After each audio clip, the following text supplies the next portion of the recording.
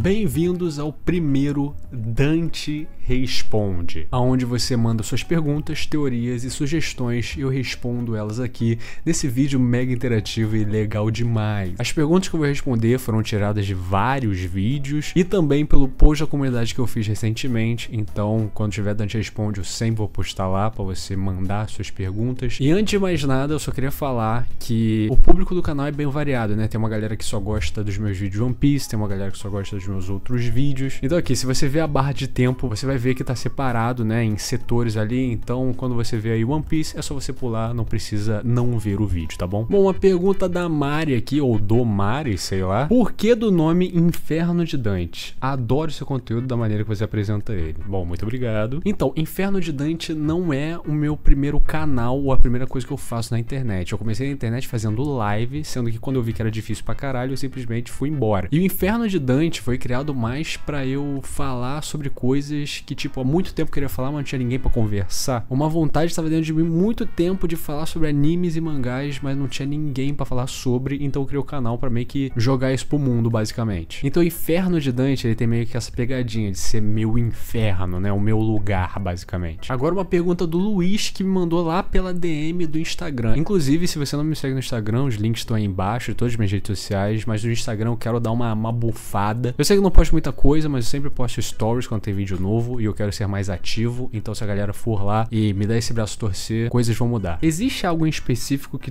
te fez criar o canal? Você tem alguma inspiração, motivação, algo do tipo? A motivação eu já disse, era tirar de dentro do meu peito essa vontade de falar sobre mangás e animes e não ter ninguém para conversar sobre. Agora, inspiração, cara, inicialmente quem me inspirou muito para criar o canal foi o Mangake, né? O Evandro Futanari, o rei de todos. Eu sempre gostei muito dos vídeos dele e até o começo, né, do canal é bem assim inspirado nele. Depois disso que eu fui meio que me metamorfoseando e fazendo vídeos mais do meu estilo. O Carlos Henrique perguntou aqui qual seria o seu tipo de NEM baseado na sua personalidade. Cara, que pergunta interessante. Eu não sei porquê, mas eu sempre fui muito fã do tipo especialista. Eu gosto dessas paradas que não podem ser categorizadas no comum, basicamente. E provavelmente teria algo relacionado a teleporte. Eu gosto bastante de teleporte, eu acho que poderia fazer um negócio maneiro com o especialista ali. Se não isso, um negócio meio kaito, sabe? Um negócio, uma técnica mais de conjuração, mas que tenha uma brincadeirinha ali no meio, tipo Crazy Slots do Kaido. O Pedro Henrique perguntou aqui: você gosta do Leório de Hunter x Hunter? Eu gosto dele, queria que ele tivesse mais destaque. Então, tem certos personagens que são muito amados e que eu odeio, né? Todo mundo tem isso. E o Leório é um deles. Não que eu odeio o Leório também, odiar é uma palavra muito forte. Mas para mim ele sempre pareceu um pouco deslocado perante aos quatro principais. Pô, a gente tem o Gon, que tem um desenvolvimento fantástico, pô, uma criança pura e virou um bicho no final. A gente tem o Killua, que desde o começo é bem complexo, filho de assassinos, mas ainda assim tem um coração bom. E a gente tem o Kurapika, é um cara que tem um fardo fudido, que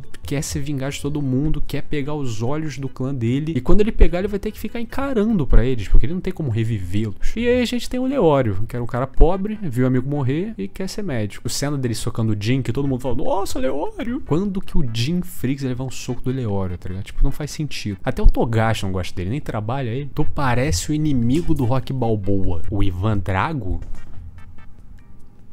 Obrigado. O Bokonovinopi, não me pergunte. Oi, Dante, você acha que todos os D vão se juntar para a guerra final, tipo Luffy, Barba Negra contra o governo mundial? Assim, faz sentido porque os D são os inimigos naturais, dragões celestiais e tudo mais, sendo que eu não gostaria muito de ver isso. Eu acho que o Barba Negra, ele tem o um rolê dele, ele é um cara que atualmente está tentando se aliar ao governo mundial, fazer de Ashinosu uma nação reconhecida pelo governo mundial. Então eu vejo muito mais como o Barba Negra ele tá tentando jogar o jogo enquanto enquanto o Luffy ele quer só virar a mesa, basicamente. Então, assim, eu acho que o Barba Negra ele pode sim querer derrubar o governo mundial, mas do jeito dele. Eu não acho que no final vai ser tipo Vingadores Ultimato, Luffy e Barba Negra juntos lutando contra o Imu. Eu acho que seria meio piegas. O Clips OP perguntou aqui: Sou novo aqui, já maratonei todos os seus vídeos sobre os capítulos de One Piece. Queria saber como você conheceu a obra e há quanto tempo acompanha. Cara, eu comecei a ver One Piece, né? Eu comecei pelo anime, eu comecei, eu tinha uns 13 anos de idade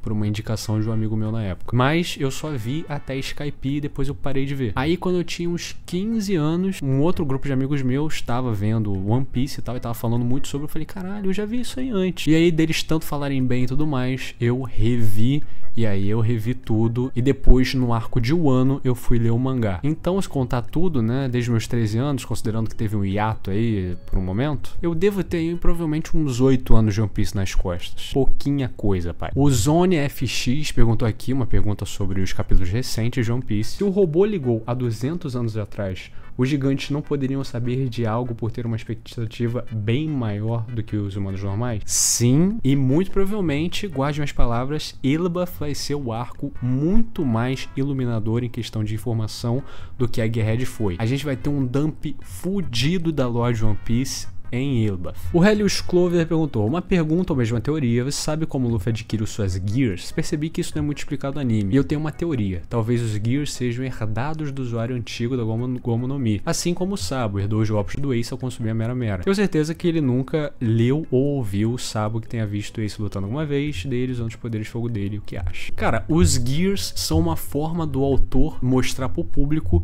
que o tempo que o Luffy tá lutando e tá evoluindo no combate resulta em uma coisa a mais. É a forma do autor mostrar que tudo tá valendo a pena. E os Gears são exatamente isso, uma demonstração de que o Luffy tá com mais conhecimento do seu poder e usa ele de forma mais criativa, assim como o Ashura do Zoro, assim como o Diablo Jamba do Sanji. E sobre eles serem hereditários, eu não acredito muito nisso porque isso tira muito do crédito do Luffy, né? Se o Luffy ele só tá tendo ali coisas que os outros criaram, qual que é o mérito dele nisso? E a questão do Sabo é um pouco complicado, porque o que a gente viu o Sabo usando da Mera Mera foi o Riken. E o Ace, em japonês, é conhecido como Riken no Ace, Ace Punhos de Fogo. E muito provavelmente, depois que o Sabo teve né, a lembrança das memórias dele, do Ace e do Luffy, muito provavelmente ele foi ler todos os jornais possíveis e informações que ele poderia do Ace e do Luffy, e muito provavelmente ele sabe a Wikipédia inteira dos dois. O Ian Dark perguntou qual é o seu mistério favorito de One Piece e quando você acha que ele pode ser revelado. Cara, o meu mistério favorito de One Piece é o chapéu de palha gigante em Marejoa, porque eu quero saber muito qual vai ser a explicação dessa merda desse chapéu e por que ele é guardado sete chaves. Tudo bem, ele pode ser o chapéu do Joy Boy, mas por que guardar a porra do chapéu? Quando isso pode ser revelado? Eu não sei, mas eu estaria depois no arco de consequências de Egghead. Se a gente vê, por exemplo, o Saturno voltando para Terra Sagrada, ou até mesmo a reação dos Gorosei, a notícia do Saturno, eu acho que a gente vai ver mais dos Gorosei, mais do Imo, o íntimo deles, digamos assim. Bom, uma pergunta do meu irmão aqui, Tawa. Quais possíveis antagonistas de uma saga final de One Piece? Barba Negra, Imu, ambos. Queria saber o que você pensa sobre. O vilão final eu gostaria muito que fosse o Barba Negra, porque para mim faz mais sentido. Eu sempre achei que o Imu seria um inimigo que eles iriam ir pro lado de revolucionários, para outro lado. Deixa os piratas com pirata, revolucionário com Imu. Sendo que pelo andar da carruagem, a guerra em Laugh Tale não será a guerra final. A guerra final vai ser o Luffy mudando o mundo e provavelmente destruindo o governo mundial, fazer aquela parada da profecia, destruir a headline e tal. Mas pro Imu ter essa carga de ser o vilão final, ele é um vilão fudido? Sim, mas ele ainda não tá conectado com o Luffy como o Barba Negra está. O Barba Negra ganhou esse status de vilãozão do Luffy quando ele capturou o Ace, deu pra marinha e ocasionou na execução dele. Ele tá ligado pessoalmente com o Luffy a partir desse momento. Então acho que Mu, meu irmão, vai ter que matar o Dragon, vai ter que tocar o Luffy de alguma forma para ele se tornar a carga de vilão final, digamos assim. O Ishigan mandou aqui: Você acredita que seria possível até final desse ano nós termos um vislumbre do final do mangá de Berserk? Seria possível Guts terminar junto da casca e dos amigos deles? Um final de descanso, um final feliz para eles? Ah, por sinal, obrigado pelos seus vídeos de One Piece, são incríveis. Muito obrigado. Eu acredito que a gente vai poder ver um vislumbre do final, coitado. É só você comparar. Ano passado a gente teve quatro capítulos de Berserk. E esses quatro capítulos foi o Guts se fudendo num barco. Dá pra ver nitidamente que depois que o Miura morreu, a obra não tá andando muito. O ritmo ficou bem prejudicado. Então não, eu não acho que a gente vai ter um vislumbre do final de Berserk, mas sim, eu prefiro que eles levem tempo pra caralho do que fazer um bagulho mal feito e visando puramente dinheiro. E se eu acredito no final feliz pro Guts, sinceramente, eu acho que o final feliz do Guts hoje em dia é ele receber uma morte rápida. Porque esses últimos capítulos em específico a gente só viu ele se fuder. Mas enfim, vamos ver, né? Vamos torcer pro nosso garoto. O Rodrigo mandou aqui: tem acompanhado os últimos capítulos de Berserk? Qual você acha que será a chave pro Guts derrotar o Griffith, tendo em vista esse estado mental fudido dele e a diferença de poder abissal entre eles? Eu não faço a mínima ideia. O Griffith é uma divindade, o Guts é um cara fudido. Ele tem que ascender ao nível Skull Knight para poder fazer algum dano no Griffith e ainda não vai ser suficiente. Ele tem que arranjar alguma forma, alguma fonte de poder. E sim, eu tenho acompanhado os últimos capítulos de Berserk, infelizmente. Já jogou Fizanal? Vai dormir, Marcos. Já leu o recorde de Ragnarok? Que achou da obra? E mais especificamente, o que achou da luta Adão versus Zeus? O anime me pareceu horrível, não taquei em animação e não vi todo para não me decepcionar ainda mais. Sim, eu já li Ragnarok e leio toda vez que sai capítulo. Nunca vi o anime, mas algumas pessoas já me falaram bem, outras me falaram bem mal. Eu já vi essa luta do Adão contra os Zeus, assim, pesquisando na internet, realmente é pavorosa, mas é uma luta que seria bem difícil de animar. Eu compreendo o estudo de animação nesse sentido. E o mangá é muito bom, é muito bem desenhado, a história é despretensiosa, mas é muito maneira. E é simplesmente um tema muito maneiro, né? Que é basicamente deuses mitológicos que todo mundo conhece contra personalidades históricas que todo mundo conhece, né? E ver esses dois lutarem e tal. É muito interessante, muito criativa a ideia. O outro Pedro perguntou aqui: quando pretende fazer um vídeo sobre a profundidade que mob esconde? Aliás, descobri teu canal ontem e tô quase assistindo todos os vídeos. Muito bom. Cê é louco, cachoeira. Muito obrigado. Cara, Mob Psycho é uma das obras que eu mais quero trazer aqui no canal. Eu acho que é uma obra que é um pouco botada de lado por causa do seu irmão, que é o One Punch Man, né? Do mesmo autor. E eu simplesmente amo Mob, é uma das minhas obras preferidas. Tem sim vídeos engatilhados para isso, ideias cozinhando na cabeça. O que acha de Bleach? Uma merda. Próximo. Brincadeira. Eu gosto muito de Bleach, já vi tudo também. Do Big Tree ali, né? One Piece, Naruto e Bleach. Eu acho que a ambientação de Bleach é a mais criativa de todas. Todo o conceito da Soul Society, Shinigami e tal é muito maneiro. Porém, o anime de Bleach, ele sofreu muito com perda de ritmo, principalmente por fillers nocivos, né? O filler ele não pode influenciar na trama, na narrativa, mesmo que seja ótimo. Os fillers de Bleach, eles acabavam e personagens dos fillers entravam na trama canônica. Isso é tipo, não. Mas ainda bem que eles estão tratando muito bem Bleach com essas novas temporadas aí da Guerra dos Mil Anos. Tá perfeito, não tenho o que reclamar. Talvez um dia eu traga algum vídeo sobre no canal. Fala sobre Hajime no Ippo. Então, peguei essa pergunta aqui porque teve bastante curtida. Eu nunca li nem vi Hajime no Ippo, então não posso fazer muita coisa. Muita gente já falou muito bem do anime, então vou ver o anime e vamos ver. O Joãozinho da Quebrada, tu curte Jujutsu Kaisen? Sim, eu já vi todo o anime e leio semanalmente os capítulos. Porém, eu não trago vídeo tipo de análise de capítulo aqui no canal, porque eu já sou né, comprometido com One Piece. E porque também eu não entendo porra nenhuma. Quando sai o capítulo, eu não entendo nada. Eu tenho que ver vídeos de outras pessoas mais inteligentes do que eu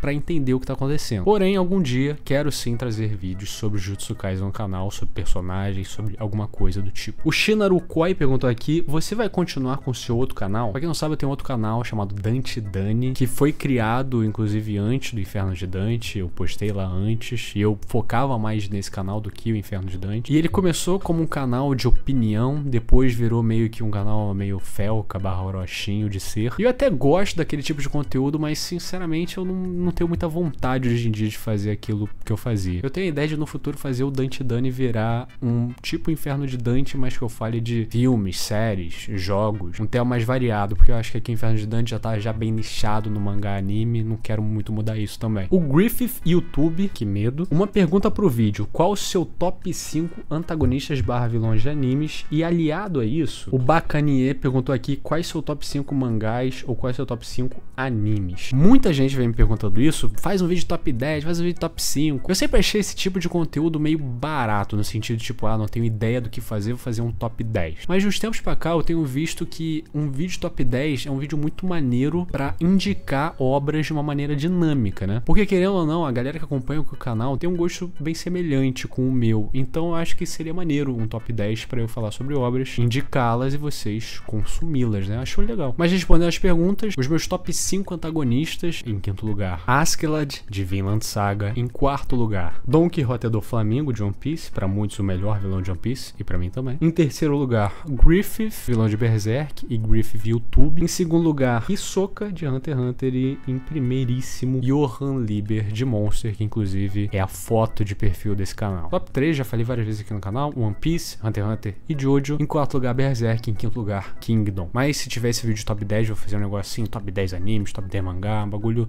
maneirinho. O Everton perguntou aqui, vi que você tem um canal na Twitch. Quando vai rolar uma live para nós batermos um papo sobre One Piece e outras obras? Então, eu peguei essa pergunta aqui porque realmente eu tenho um canal na Twitch, como eu disse, eu comecei na internet fazendo live e meu canal tá morto desde então. Já faz mais de um ano que eu não faço live. Mas realmente, se vocês quiserem lives, coisas do tipo assim, eu tô dentro. Eu acho maneiro fazer live, mas é maneiro quando tem gente, né? Então, assim, se vocês quiserem ir lá no perfil da Twitch, tem o um link aqui embaixo da descrição, irem lá me seguir, eu vou ver esse movimento, vou falar, tá bom, a galera que é live, vamos que vamos. O Guilherme mandou cinco perguntas, né? Fia da puta, trapaceiro. Faz alguma faculdade? Fiz um período e meio de faculdade de administração, vi que não era para mim, fui embora. Hoje em dia eu faço um curso de investigação forense e perícia criminal. Não pergunte o porquê. Sua leitura é mangá ou algo a mais? É mangá, eu não sou muito de ler livro, mas eu quero mudar esse hábito, quero ler livros. Qual a sua pretensão ao criar esse canal? Já respondi, queria tirar de dentro do meu pinto a vontade de falar de anime e mangá. Como é ler o semanal de Kingdom? Triste. Mas se você está perguntando como eu leio, eu leio em inglês quando sai a scan extremamente mal feita. Não recomendo, mas também não recomendo você esperar duas semanas para ler o capítulo traduzido português de Kingdom. Então assim, se você sabe inglês,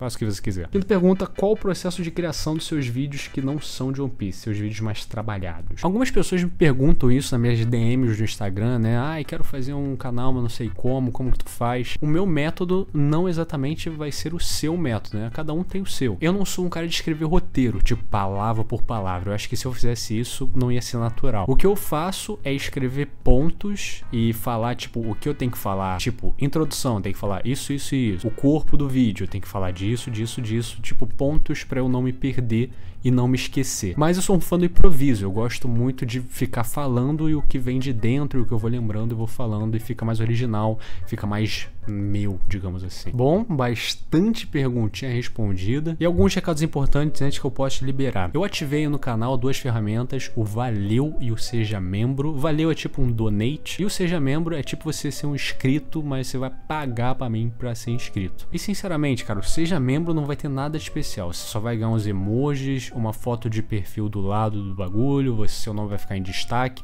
É tipo ser um sub na Twitch. Você vai mais me ajudar e me incentivar a produzir conteúdo do que realmente ganhar algo em troca. Então assim, vira membro quem quer. Já teve um doidão que virou membro. Muito obrigado, eu quero te beijar. Se você chegou até aqui, deixe seu like se inscreva no canal, compartilhe e por favor comente nesse vídeo. É importante que você engaje esse vídeo para eu saber se vocês estão gostando do Dante Responde ou não. Mas enfim, obrigado pelas perguntas. Se você perguntou e eu não respondi, fique calmo, pergunte de novo, quem sabe eu vou te responder. Quem sabe você fica esperando de novo. A vida é dura e nem sempre você ganha. Tchau, tchau.